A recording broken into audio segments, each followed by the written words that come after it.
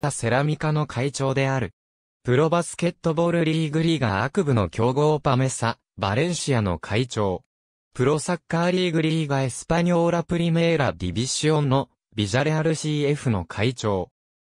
ニックネームはプレシ。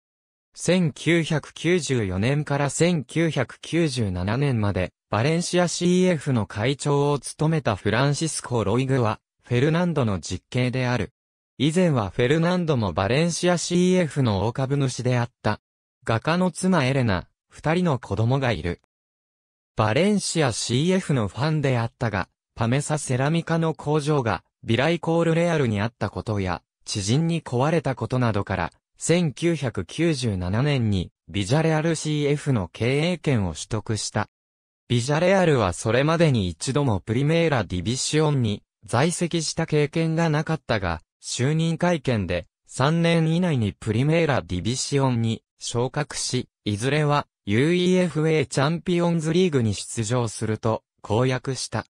下部組織の充実や練習環境の整備、移動用の専用機の購入などに着手し、1年で一部昇格という一つ目の目標をクリアした。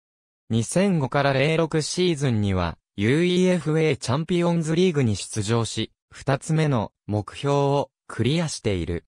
マヌエル・ペジェグリーニ監督による長期的なチーム作りを援助し、ジュゼッペ・ロッシ、サンティ・カソルラの獲得など、選手補強の面でも優れた手腕を発揮した。ありがとうございます。